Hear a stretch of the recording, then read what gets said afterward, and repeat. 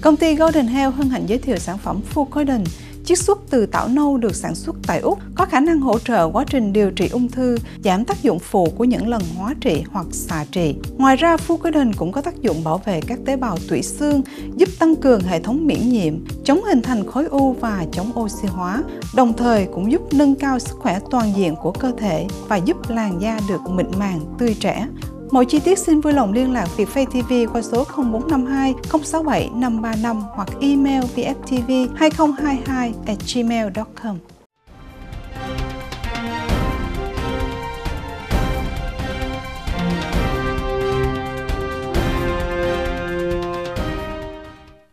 Thanh Huyền xin trân trọng kính chào quý vị khán thính giả của Đài Việt TV Úc Châu. Kính thưa quý khán giả của Việt TV, Bộ trưởng Ngân khố New South Wales ngày hôm nay sẽ công bố ngân sách của tiểu bang này và thông tin chi tiết sẽ được chúng tôi cập nhật trong phần điểm báo Úc Châu vào lúc 6 giờ tối ngày hôm nay. Trong khi hàng loạt những thay đổi cũng sẽ được áp dụng kể từ ngày 1 tháng 7 sắp tới, đặc biệt là kế hoạch giảm thuế giai đoạn 3 và các khoản hỗ trợ tiền điện từ chính phủ liên bang. Ngoài ra thì trong mùa khai thuế năm nay, ATO cũng sẽ đặc biệt quan tâm đến những hồ sơ khai khấu trừ chi phí làm việc tại nhà. Trong khi đó, đời sống vất vả của những người thất nghiệp đang hưởng trợ cấp từ Centrelink một lần nữa đã được nêu lên bởi tổ chức từ thiện Anglicare khi mà dữ liệu cho thấy hầu hết số tiền tài trợ chỉ đủ để trả tiền thuê nhà. Và sau đây là phần tin chi tiết trong bản tin vào lúc 10 giờ sáng hôm nay thứ ba, ngày 18 tháng 6 năm 2024 của Đài Việt TV Australia.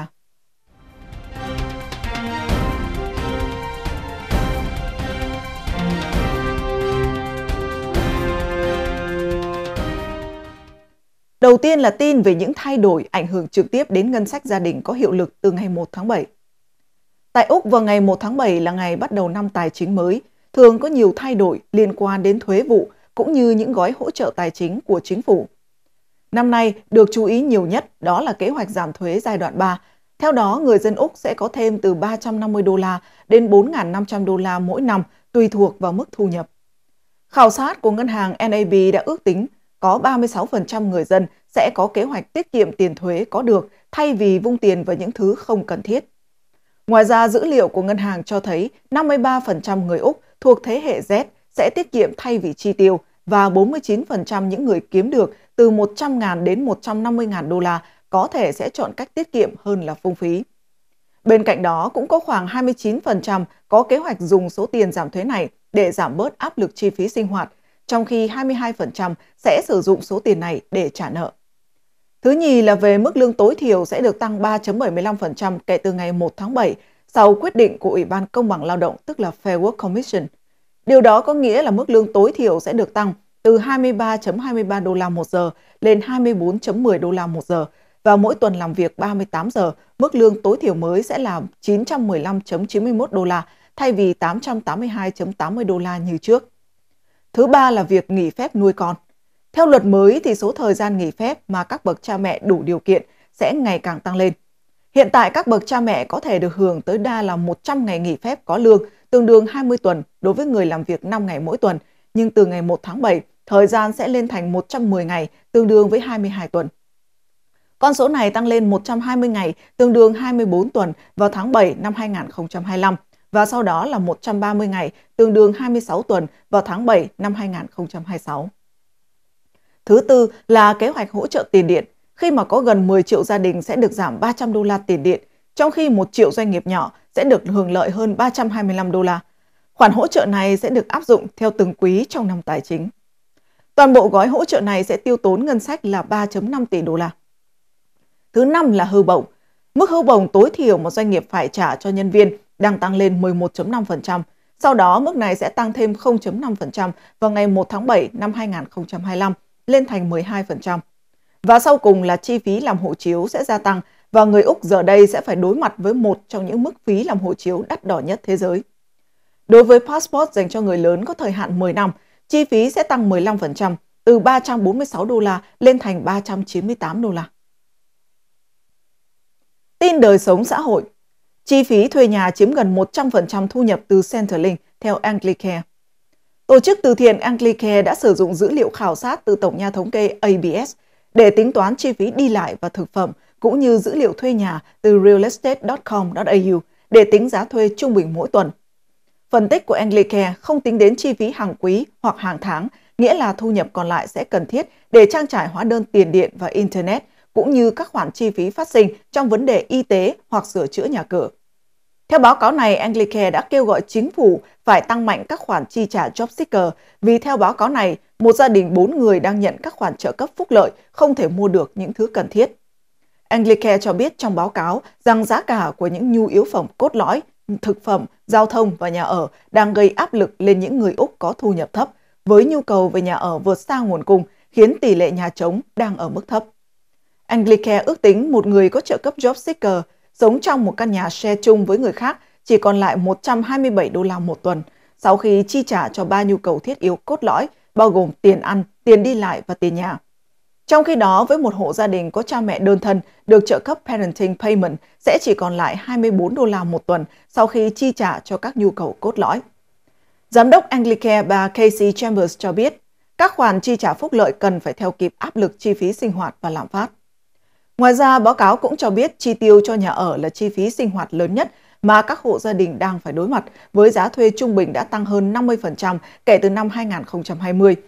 Dữ liệu cho thấy một gia đình 4 người với hai người lớn thất nghiệp sống trong căn hộ thuê 3 phòng ngủ sẽ không thể trang trải những khoản chi phí căn bản từ thu nhập của họ và sẽ cần phải kiếm thêm 17 đô la một tuần để bù đắp sự thiếu hụt.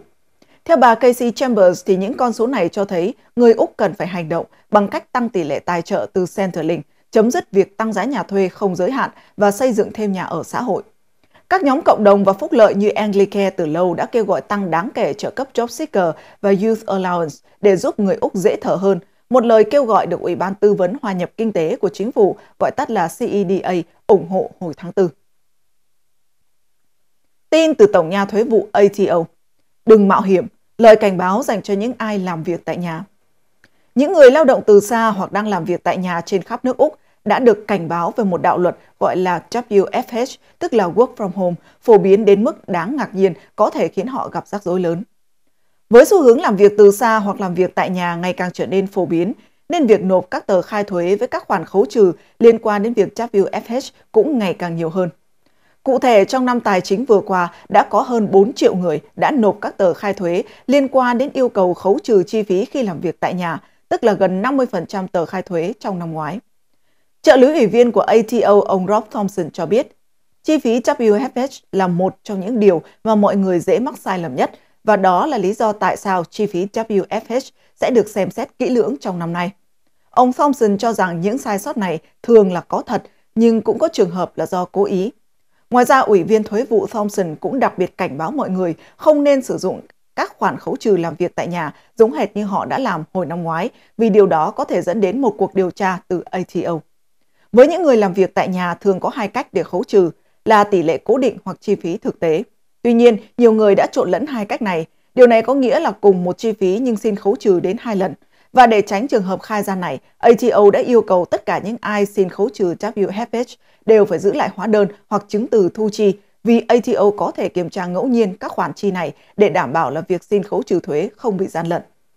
Theo phương pháp tỷ lệ cố định, người làm việc tại nhà có thể yêu cầu 67 sen cho mỗi giờ làm việc. Khoản bồi hoàn này bao gồm cả chi phí Internet, điện thoại, điện, văn phòng phẩm, vân vân.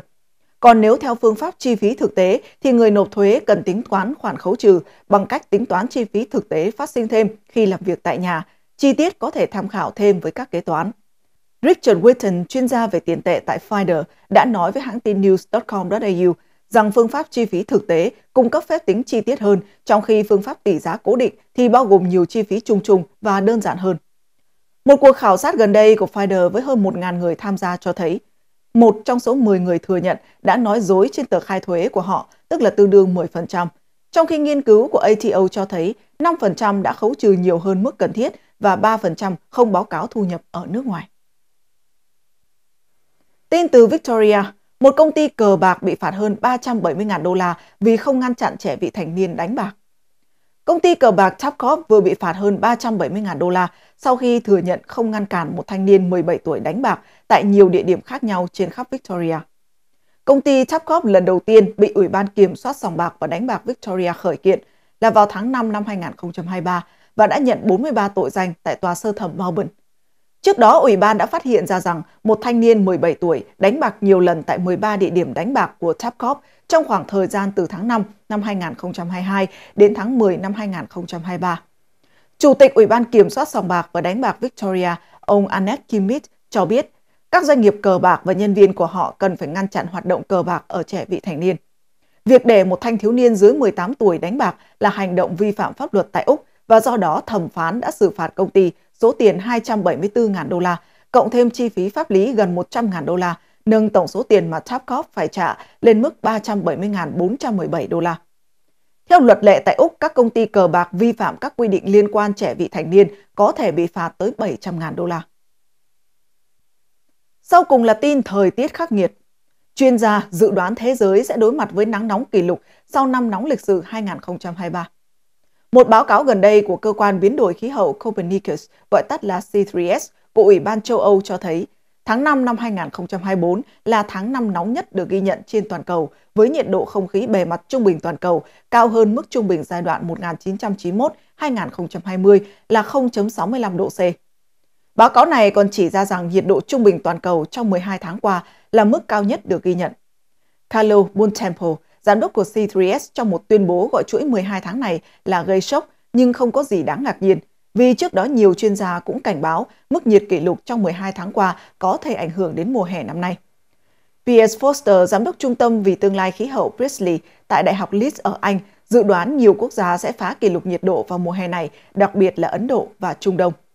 Ngoài ra, các cơ quan khí hậu toàn cầu cũng cảnh báo về việc nhiệt độ từ năm nay trở đi cho đến 4 năm tới có thể lập kỷ lục mới, vượt qua năm 2023, hiện là năm nóng nhất được ghi nhận.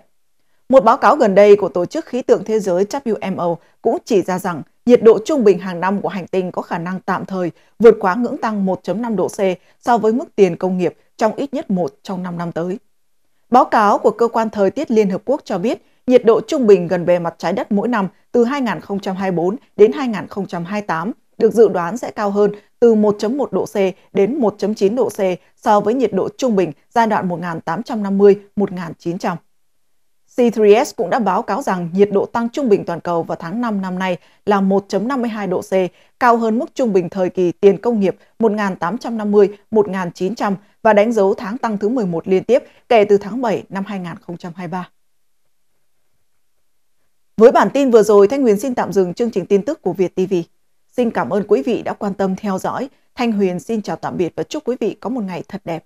Xin hẹn gặp lại quý vị trong chương trình tin tức của Đài Việt TV Úc Châu vào lúc 1 giờ trưa ngày hôm nay.